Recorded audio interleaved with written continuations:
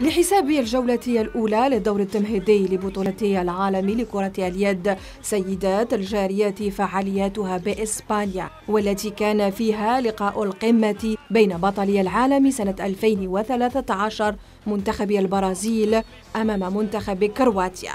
تمكنت سيدات البرازيل من تحقيق أول فوز لهن على حساب منتخب كرواتيا الذي كان خصما قويا أمام البرازيليات حيث شكلت كرواتيا عقبة متينة أمام رفيقات باربارا أرينار. اللواتي عرفنا كيف ينهين اللقاء لصالحهن بنتيجة 30 إصابة مقابل 25 فيما كان الفارق العارض في الأهداف المسجلة بين الخصمين علامة مسجلة في باقي المواجهات